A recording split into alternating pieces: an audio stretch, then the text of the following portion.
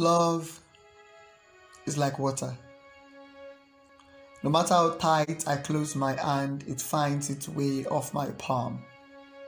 It always does. But you came like an ocean.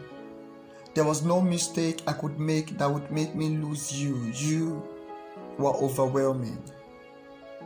I always thought I was doing something wrongly. Like, I needed to train my palm to learn how to be a room love would feel comfortable in. I never knew that all I had to do was wait for love to find me. And when you found me, I found out all the things I had believed wrongly about myself. I used to believe I was porous, like all the goodness I had inside of me weren't happy about staying.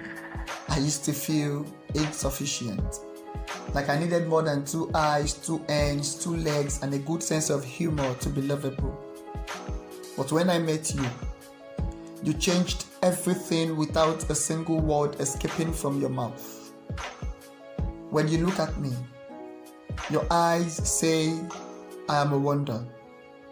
The most amazing creature between sky and water. Your eyes say you can't believe I exist. You can't believe no one has noticed that I am a fountain, that there's so much goodness inside of me, that I am a treasure men should kill to attain. Your eyes say so much without the permission of your lips. Words so vivid, my unbelief was silenced by the loudness of its sincerity. The way you look at me when I smile is a storybook with a hundred chapters, yet ending with an ellipsis. Your eyes say my smile can melt a mountain turn it into sand.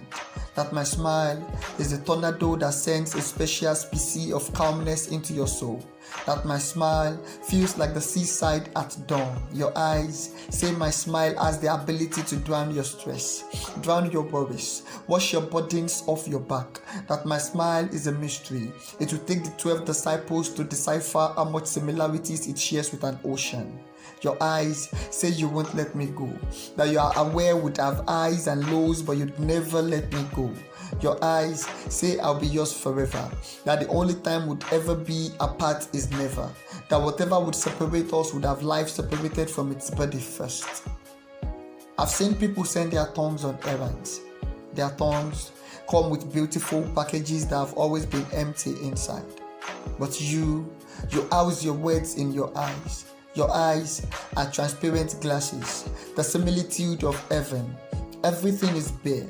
I can see through your thoughts, your emotions, your beliefs, and I have chosen to believe all the words your vocal cord didn't produce. I choose to believe because I had it all clearly.